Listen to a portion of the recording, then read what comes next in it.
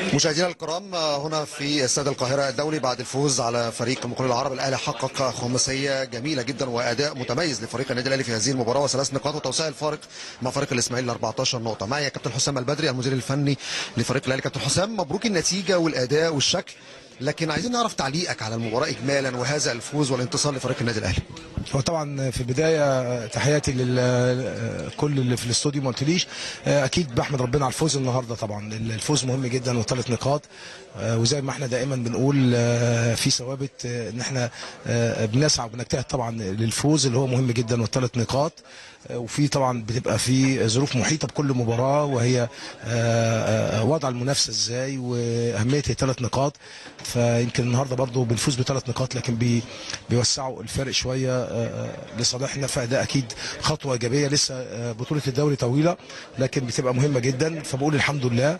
إذا اتكلمت عن المباراه زي ما قلت في المؤتمر يعني هو فوز طبعا مهم جدا وأداء جيد لكن مش طول فترة المباراة لأن كان في طبعا النهارده سلبية من جانبنا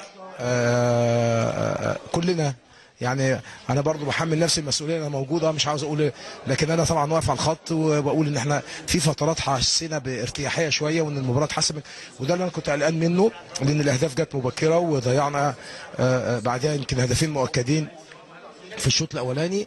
حصلت سلبية شوية في التفكير وارتياحية إن المباراة قريبة مننا وعشان كده شفنا دخول المقاولين تاني والتعادل عملنا مجهود طبعا أكتر وضغطنا أكتر ما كنتش أتمنى كده لكن في النهاية لازم أشكر اللعيبة على الظروف والتعامل مع الظروف النهارده بقول والأداء الجيد طبعا لأن في النهاية في أداء جيد بإجمالي المباراة.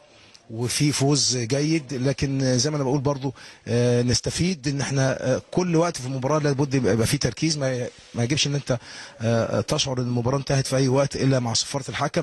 ودي السلبية الوحيدة اللي إحنا يعني عملناها النهارده يعني. طيب سؤال أخير. ماذا يعني بالنسبة لكابتن حسام البدري تصدر وليد أزارو قائمة هدافي الدوري المصري خاصة إنك أصريت على مشاركته منذ البداية في بداية الدوري حتى هذه اللحظات والآن ب 14 هدف ولسه المسابقه فيها مباريات كثيرة؟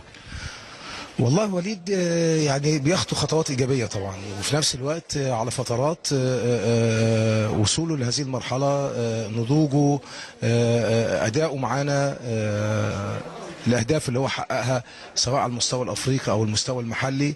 فأعتقد إن دي خطوة يجب ياخدها يعني بكل تركيز وباعتبار في إيجابية. لأن طبعا الدوري لسه طويل وفي نفس الوقت هو بياخد خطوات إيجابية.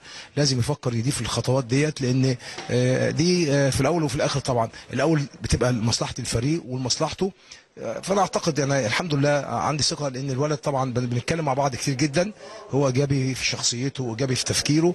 والحاجة المميزة فيه طبعا أقدر اقولها دلوقتي عدم تأثره باللي حواليه وباللي بيتقال كتير ودي مهمة جدا في اللاعب. ومر بفترات كتيرة جدا لكن بكلامي معاه بإحساسي بيه وبشخصيته دي من الحاجات طبعا اللي بتبقى مهمة جدا في لعب كرة القدم.